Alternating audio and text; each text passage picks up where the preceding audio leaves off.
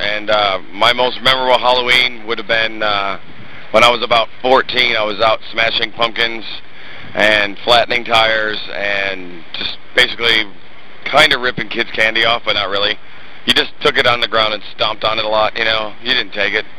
Wasn't a very nice kid. And uh, I got arrested for it.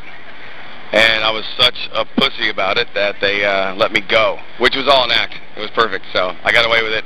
That was my first time in handcuffs. I'm 14 years old. And the cops actually took my candy. I guess to teach me a lesson. That's life in a small town for you. So don't mess with other kids' candy, or they'll take yours away too.